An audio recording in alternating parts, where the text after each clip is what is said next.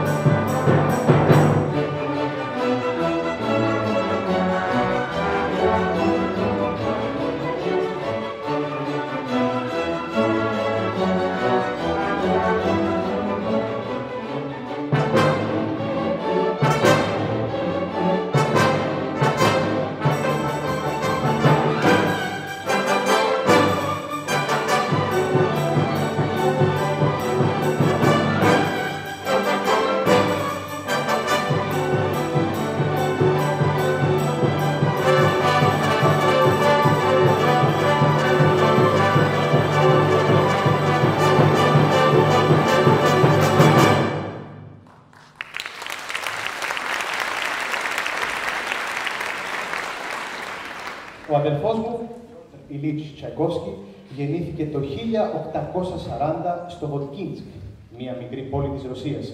Ο πατέρας μας, Ηλία Πετρόβιτς, υπηρέτησε ως αντισυνταγματάρχης στον τομέα των ορυχείων. Η μητέρα μας, Αλεξάνδρα Ντρέγερνα, είχε γαλλική καταγωγή.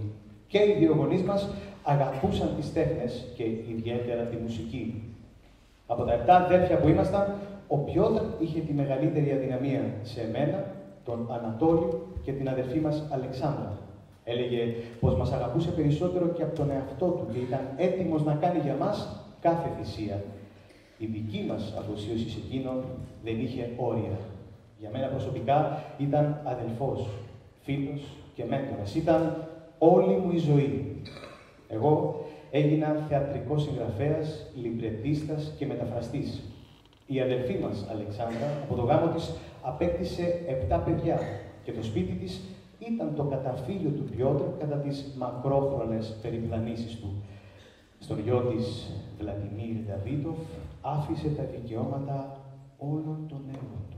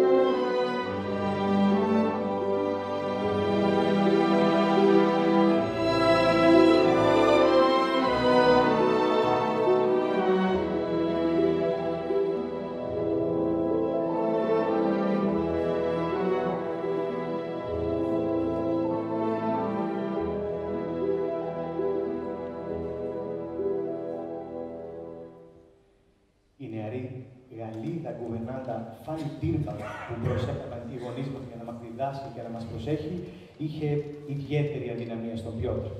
Σε αυτή τη γυναίκα, εκείνος βρήκε τη στοργή που του έλειπε από τη μητέρα μας, που πολλοί λένε ότι ήταν ψυχρή, δυστυχισμένη και απόμακρη. Κάποιοι άλλοι ισχυρίζονται ότι τον λάτρευε. Ακόμα κι εγώ δεν μπορώ να σας πω ποια είναι η αλήθεια. Ο Πιότρ διατήρησε την επικοινωνία με την κουβερνάντα μας για αρκετά μεγάλο χρονικό διάστημα. Ύστερα χάθηκαν. Λίγο πριν από το θάνατό του την επισκέφθηκε. Η συνάντησή τους ήταν πολύ συγκινητική, σαν να έκλεινε ένας κύκλος, σαν να ξαναγύρισε για λίγο στην ανέμελη παιδική του ηλικία. Η Φάνη είχε φυλάξει όλα τα τετράδια του αδελφού μου, μετά το θάνατό του, μου έδωσε πολλές πληροφορίες για τη ζωή του που με βοήθησαν να γράψω τη βιογραφία του.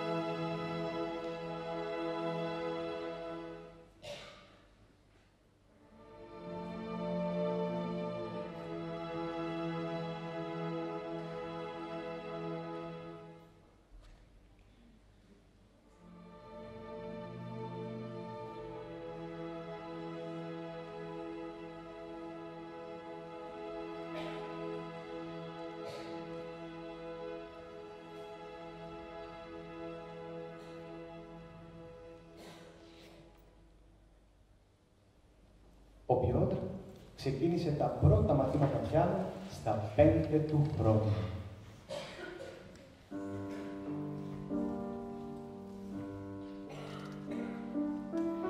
Ήταν επιμελής και έξυπνος μαθητής.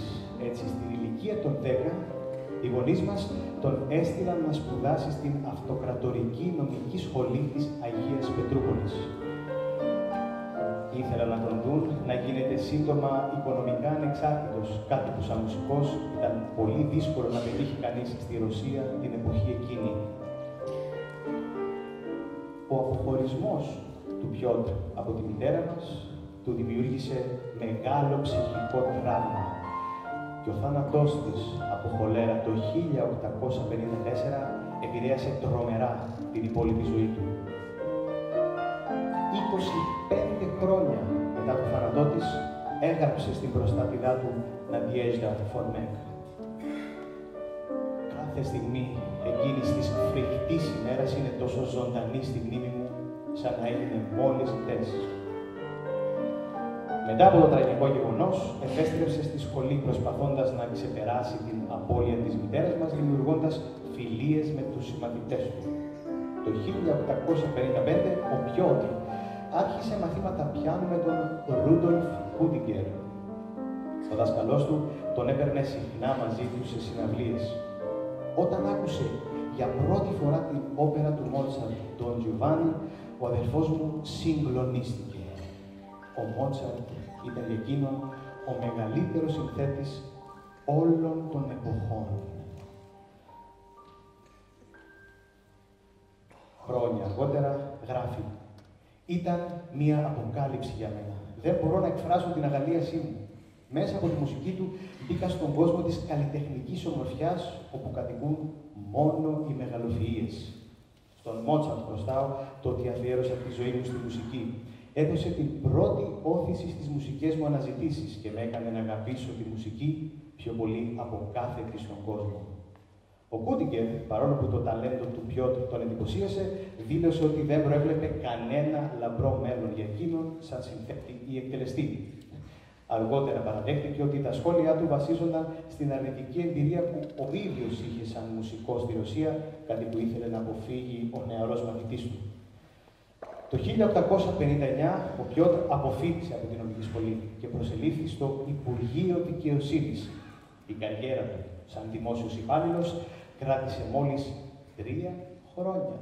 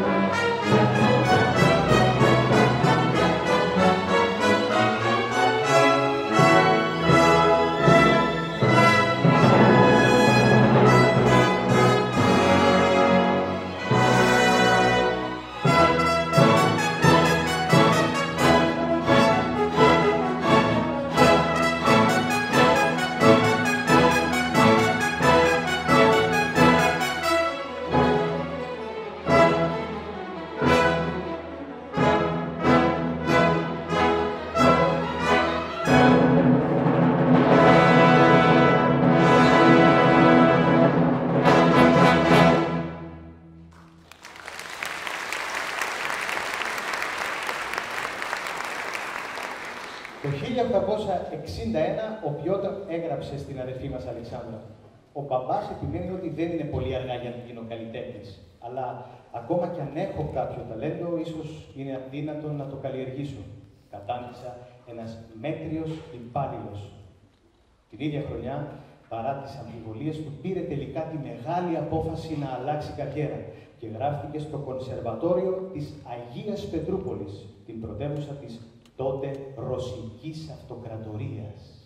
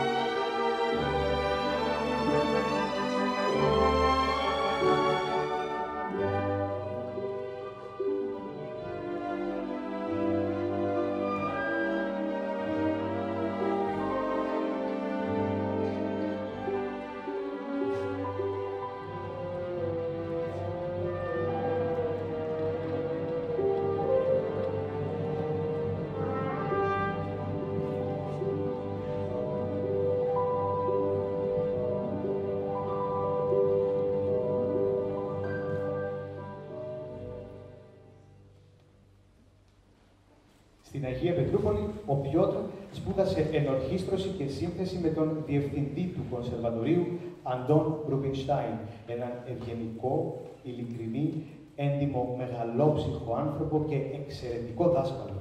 Οι σπουδές αυτές του έδωσαν τα εφόδια για να γίνει συνθέτης και παράλληλα του άνοιξαν καινούριους ορίζοντες. Τον βοήθησαν να καταλάβει ότι η ρωσική και η ευρωπαϊκή παράδοση συνδέονται και αλληλεπιδρούν. Αυτή η νοοτροπία συνετέλεσε στο να δημιουργήσουν το δικό τους προσωπικό ύφος πολλοί Ρώσοι συνθέτες. Ο Αντών Ρουμπινστάιν εντυπωσιάστηκε από τον Πιότρ, τον οποίο θεωρούσε ιδιοφυΐα, παρόλο που διαφωνούσε με κάποιες νεοτεριστικές απόψεις του.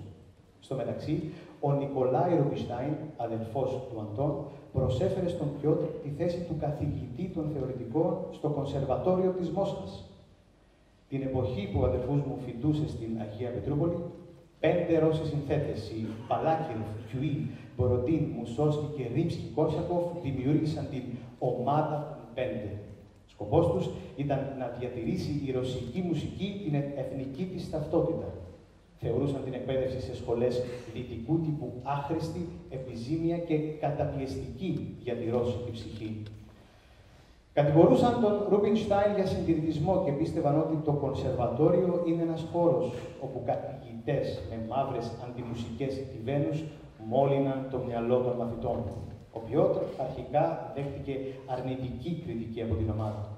Με την πάροδο των ετών, οι σχέσεις τους εξομαλύνθηκαν ιδιαίτερα μετά το πρώτο του έργο που αναγνωρίστηκε σαν αριστούργημα, την εισαγωγή φαντασία «Ρωμαίος και Ιουλιέτα».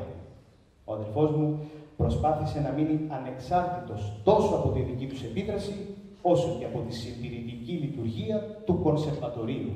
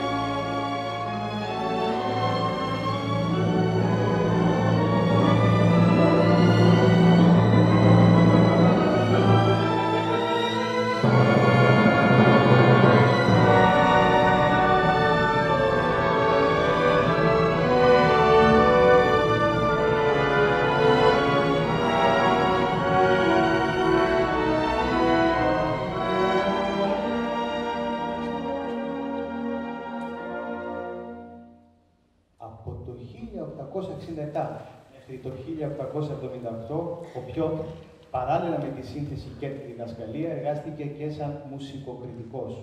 Ως εκ τούτου, είχε την ευκαιρία να ταξιδέψει πολύ και να γνωρίσει τη μουσική των Beethoven, Brahms, Schumann, Wagner.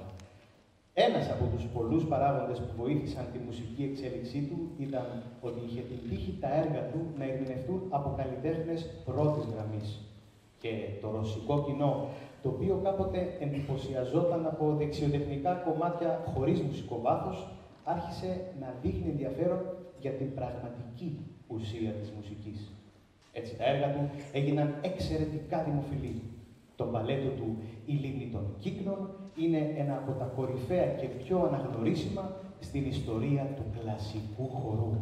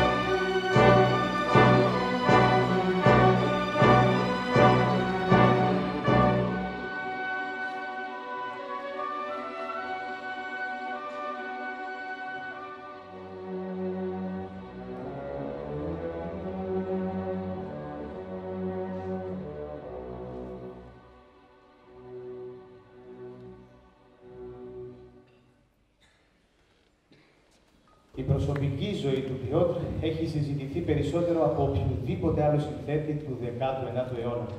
Ο αδελφός μου, ιδιαίτερα ευαίσθητος και εσωστρεφής, έζησε μόνος το μεγαλύτερο διάστημα της ζωής του. Το 1868 γνώρισε την Desiree Αρτό, μια διάσημη Βελγίδα σοπράνο. Ενθουσιάστηκε από την προσωπικότητά της και αραγωνιάστηκα. Όμως το ειδήλιο τελείωσε άδοξα. Η Desiree δεν ήθελε να εγκαταλείψει την καριέρα της για να εγκατασταθεί στη Ρωσία. Αργότερα ο Πιότ έλεγε ότι ήταν η μοναδική γυναίκα που αγάπησε στη ζωή του.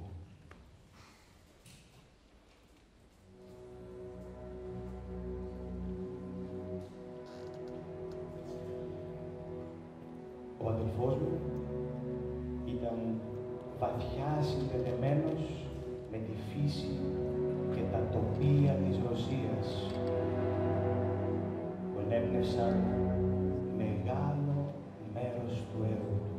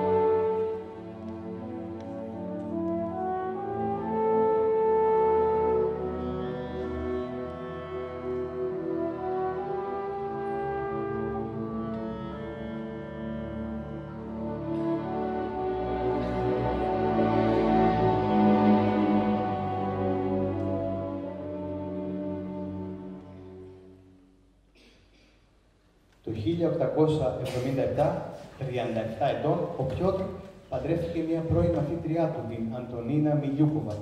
Ο γάμος τους ήταν σκέπτη καταστροφή. Έζησαν μαζί μόνο δυόμισι μήνες. Εκείνος, συντετριμένος ψυχολογικά, εγκατέλειψε τη συζυγική αιστεία. Η οικογένειά μας στάθηκε δίπλα του σε αυτή τη δοκιμασία, καθώς και σε όλη την υπόλοιπη ζωή του, βοηθώντας τον να αποδεχτεί τον εαυτό του και να βρει εσωτερική ισορροπία. Ο Πιότρ βρισκόταν πάντα ανάμεσα στις προσωπικές του αντισυμβατικές επιθυμίες και την προσπάθεια του να ζήσει μια κανονική ζωή με οικογένεια και παιδιά. Πάλευε να γεφυρώσει το χάσμα ανάμεσα στα θέλω και τα πρέπει. Ένα πρόσωπο που έπαιξε σημαντικό ρόλο στη ζωή του ήταν η Ναντιέζδα Φον Μέκ, μια βαθύ πλούτη χείρα, θαυμάστριά του και πολύτιμη φίλη.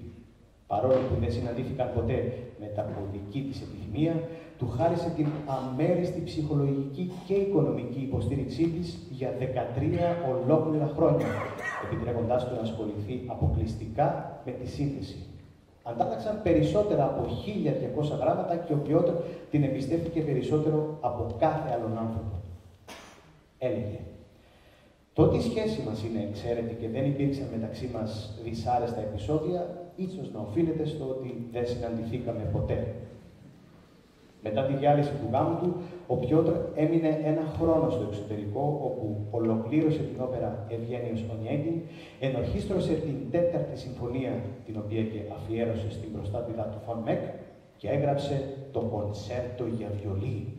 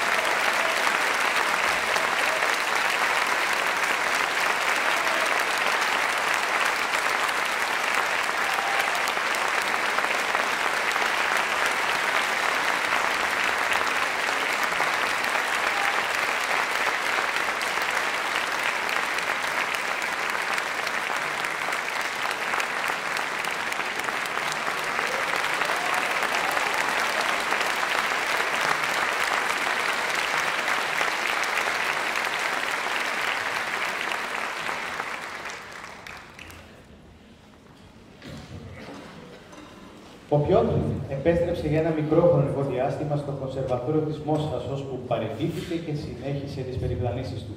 Η επιχορήγηση της Ναντίας Λαφορμέκ του επέτρεπε να είναι οικονομικά ανεξάρτητος. Η πρώην σύζυγός του, Αντωνίνα, βαθύτατα πληγωμένη, του δημιουργούσε μεγάλες ενοχές. Ήταν τόσο ταραχμένος που για μεγάλο χρονικό διάστημα έγραφε ελαφρά έργα που δεν απαιτούσαν ιδιαίτερη προσωπική συμμετοχή. Στο μεταξύ, η αντιμετώπιση του έργου του από τη ρωσική κοινωνία, η οποία ως τότε τον θεωρούσε αποστάτη λόγω των επιρροών του από τη Δύση, άλλαξε ύστερα από την πρωτοφανή απήχηση που είχε ένα μήνυμα του μεγάλου Ρώσου ποιητή Αλεξάνδρ Σεργέγεβιτς Πούσκιν. Ο ποιητής μιλούσε προφητικά για πανανθρώπινη ενότητα και αποκατάσταση της επικοινωνίας με το δυτικό κόσμο. Το 1880 ο Πιότρ ανέλαβε να συνθέσει ένα έργο για τις εορταστικές εκδηλώσεις που θα πραγματοποιούνταν στη Ρωσία το 1882. Έγραψε την περίφημη «Εισαγωγή 1812», έργο αφιερωμένο στη λίγη των Ρώσων εναντίον του Ναπολέοντα, που εισέβαλε στη χώρα τη χρονιά εκείνη με τη μεγάλη στρατιά του.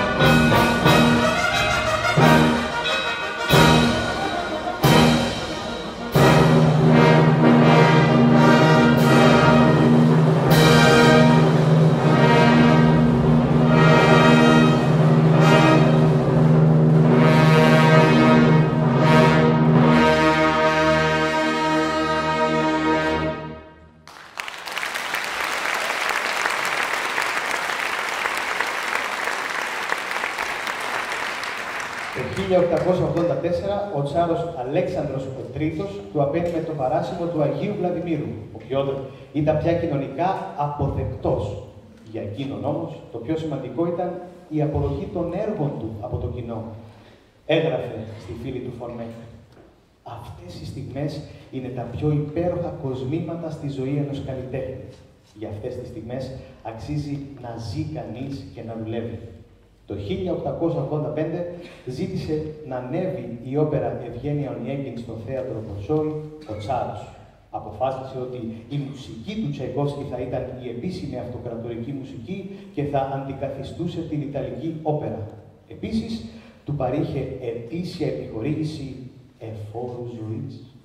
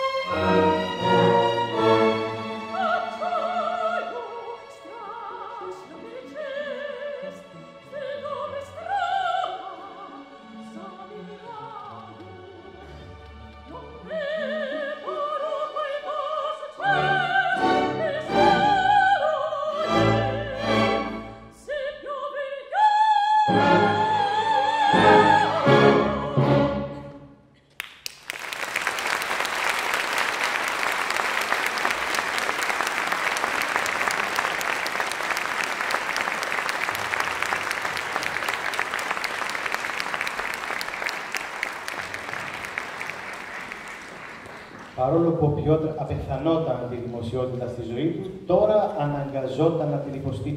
Ήταν το τίμημα της αυξανόμενης δημοτικότητάς του, αλλά και ένα καθήκον που ένιωθε πως είχε σαν πρεσβευτής της μουσικής της χώρας του.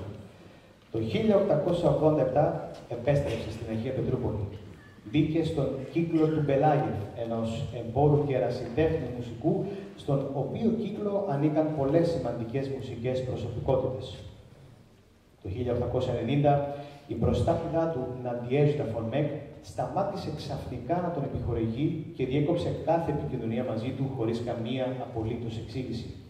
Βαθιά πικραμένος ο Πιότρ κατέφυγε στη Φλωρεντία. Η ατμόσφαιρα της αγαπημένης του πόλης τον βοήθησε να προπληρώσει μέσα σε 45 ημέρες την όπερα «Ντάμα Πίκα» πάνω σε δικό μου λιμπρέτο.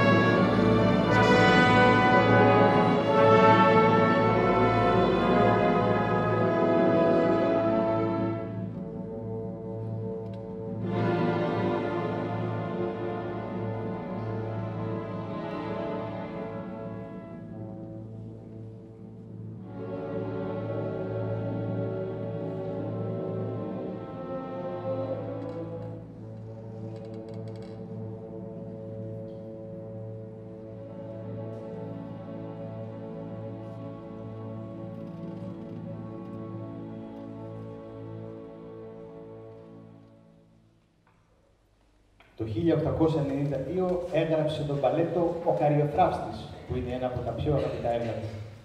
Την εποχή των Χριστουγέννων, ο Καριοθράφστης συντροφεύει μικρούς και μεγάλους σε ολόκληρο τον κόσμο. Την ίδια χρονιά έγινε μέλος της Ακαδημίας Καλών της Γαλλίας και την επόμενη, το Πανεπιστήμιο του Cambridge, τον αναγόρευσε σε επίσημο διδάκτορα.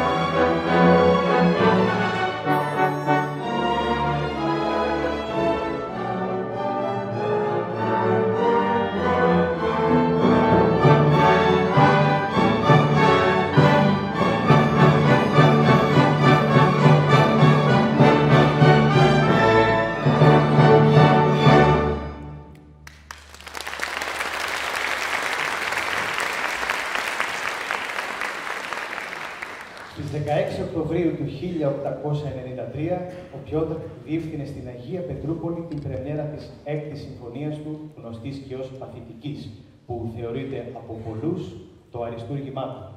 Ο ίδιος έλεγε «Είναι το καλύτερο από όλα τα έργα που έχω γράψει ως τώρα. Το αγαπώ όπως ποτέ δεν αγάπησα κανένα από τα μουσικά μου παιδιά». Εννέα μέρες αργότερα, πέθανε σε ηλικία 53 ετών από χολέρα που του προκάλεσε μολυσμένο νερό. Αυτή ήταν η επίσημη εκδοχή των γιατρών. Όμως, ακόμη και η αιτία του θανάτου του αμφισβητήθηκε. Κάποιοι ισχυρίζονται ότι ο Πιότρ αυτοκτόνησε για να ξεφύγει από τα διλήμματα που τον βασάνιζαν σε όλη του τη ζωή ή για να γλιτώσει από τον ασφιχτικό κοινωνικό περίγυρο της εποχής εκείνης που τον κατέκρινε και ήταν έτοιμος να τον τιμωρήσει για τις επιλογές του. Ίσως δεν θα μάθουμε ποτέ την αλήθεια. Τάφηκε στο κημητήριο του μοναστηριού του Αλέξανδρου Νιεύσκη, δίπλα στον Μποροντίν, τον Κλίκα, τον Μουσόσκι. Αργότερα τους συντρόφεψαν οι Ρίμσκι Κόρσακοφ και Μπαλάκυρεφ. Πιότρ Ήλιτς Τσαϊκόφσκι.